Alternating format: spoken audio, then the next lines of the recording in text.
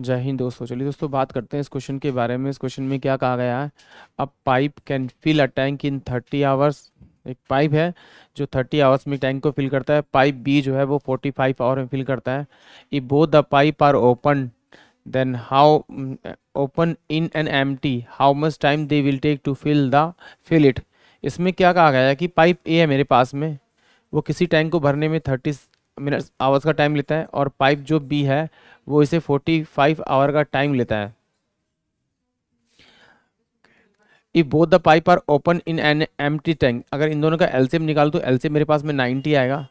ये मेरे पास कितना होगा? तीन और ये कितना हो जाएगा मेरे पास में दो। अगर मुझे इन दोनों से काम कराना है तो मेरे पास नाइन्टी अपोन में कितना हो जाएगा?